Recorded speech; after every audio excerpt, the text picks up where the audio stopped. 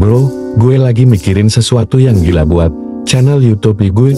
Gue pengen revolusi total. Revolusi total. Maksud lo gimana tuh? Tuh bukannya channel lo udah cukup bagus? Udah? Punya audiens setia juga? Iya, tapi gue merasa stuck di situ-situ aja. Gue pengen bikin perubahan besar. Gue pengen konten yang lebih menarik, editing yang lebih gila, dan topik-topik yang out of the box. Dalam dunia digital yang bergerak cepat, perubahan adalah sebuah keharusan. Sebuah kanal YouTube yang dulu penuh dengan ide-ide orisinal mungkin suatu hari merasa stagnan atau datar. Tanpa lonjakan kreatif, tanpa dorongan baru, itulah saatnya revolusi dimulai.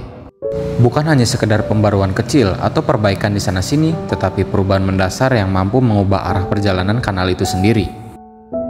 Nah, channel YouTube ini telah dibuat pada 23 Mei 2020. Udah lama banget ya dibuatnya. Dan dulu konten saya itu adalah bertipe edukasi, di mana saya adalah seorang animal lovers dan juga seorang adventurer yang sering sekali turun ke hutan ataupun ke gunung untuk mencari satwa dan mengedukasi kepada masyarakat awam, yang di mana biasanya target utama saya adalah ular teman-teman. Dan seiring berjalannya waktu, konten saya sekarang mulai berubah teman-teman. Yang bahkan di sini terbilang random dan saya mengupload apa saja yang ada di pikiran saya.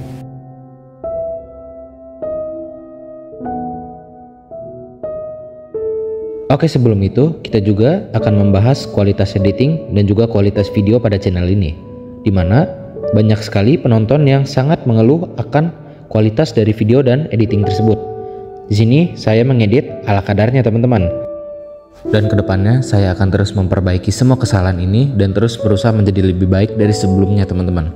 Saya akan terus upgrade menjadi yang lebih terbaik lagi.